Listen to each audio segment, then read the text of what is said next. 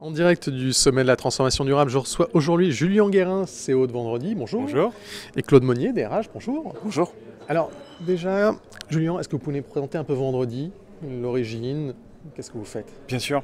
Alors Vendredi, euh, on est une entreprise sociale, Mhm.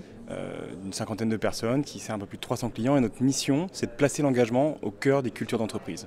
On aide les entreprises à mobiliser leurs salariés avec des actions d'association, des actions de sensibilisation ou même à permettre aux salariés de participer à la stratégie RSE de leur entreprise en donnant leurs idées, en proposant des projets. Euh, Et on fait ça en aidant l'entreprise à mesurer les trois grands impacts qu'a une politique d'engagement de ses salariés. D'abord, évidemment, l'impact social et environnemental, Mhm. euh, mais aussi l'impact euh, sur ses ressources humaines. On pense à la marque employeur, on pense à la fidélisation, et puis sur sa compétitivité, que ce soit sur des questions d'image de marque engagée ou d'obtention de label RSE. Vous étiez tous deux sur euh, le panel RH tout à l'heure. Qu'est-ce que vous en avez euh, retenu? Quel grand message euh, vous en avez gardé?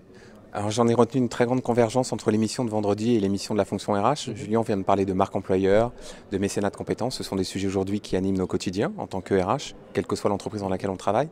Et nous avons aussi beaucoup évoqué l'importance des petits gestes du quotidien qui ont des résultats sur des temps très courts et la nécessité d'avoir une réflexion sur le plus long terme avec des engagements plus collectifs, euh, plus ambitieux en termes d'emploiement. Et dans cette logique-là, on, on a constaté que c'était vraiment un travail d'équipe, une approche pluridisciplinaire qui, à notre sens, était le facteur clé de succès pour imaginer que la fonction RH puisse se rendre utile dans une politique RSE.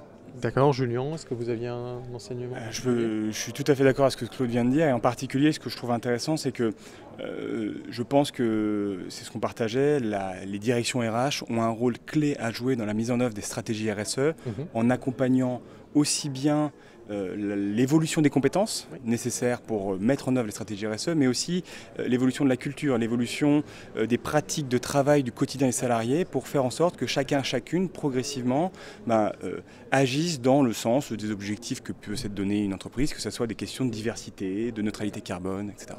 Et s'il y avait un message que vous vouliez faire passer aujourd'hui, lequel quel serait-il?